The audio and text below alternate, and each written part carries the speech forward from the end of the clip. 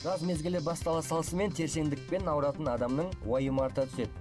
Күн ыстықта адамның денесінен тер бөлініп кейбіреулерде бұл шамадан тыс көп болғандықтан көпшілік ортада ыңғайсыздық тудыратыны анық тершеңдік деген бұл көбінесе интоксикациялық синдромның белгілерінің бірі болып табылады интоксикациялық синдром дегеніміз бұл организмнің әртүрлі инфекциялық я болмаса басқа да бөгде заттардың нәтижесінде улануынан я болмаса белгілі бір организмнің қарсыласу күшінің оянғандығын белгілейтін жағдай сол кезде адам бірден тершеңдікке ұшырайды.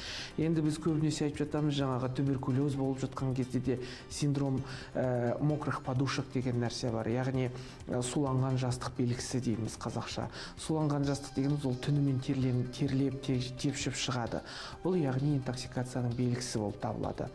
Жаттығудың әсерінен дәрі дәрмектер мен медициналық жағдайлардың жанама әсері ретінде сіз қалыптыдан көп терлеуіңіз мүмкін. Сонымен қатар шамадан тыс кофеин алкоголь немесе ащы тағамдарды жиі пайдалансаңыз бұл жағдайда жиі терсеңдікке алып келеді. Жалпы шамадан тыс жиі терлейтін болсаңыз дәрігерге көрінгеніңіз абзал. Сондықтан егер қатты терлеу сізді ұзақ уақыт мазалайтын болса міндетті түрде дәрігерге қаралыңыз. Ал енді кейбір кісілер болады тершеңдікке бейім кісілер болады. Ол жалпы физиологиялық жағдайда да бола береді. Оның негізгі себебі бұл зат алмасу процесіне тікелей тәуелді. Зат алмасу процесі қандай болу? Яғни неғұрлым жылдам жоғары болған сайын ол соғұрлым тершеңдікке бейім болып келеді. Яғни бұл зат алмасу процесінің қосылғандығын бейнелейтін жағдай.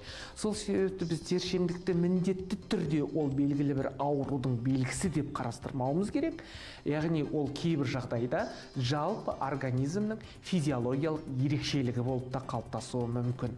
Терсеңдіктің алдын алу үшін алдымен дұрыс тамақтануға назар аударыңыз. Мысалы дәмдеуіштер немесе алкоголь терсеңдікті күшейтеді. Киімге назар аударыңыз. Синтетикалық маталар терсеңдікті тудырады.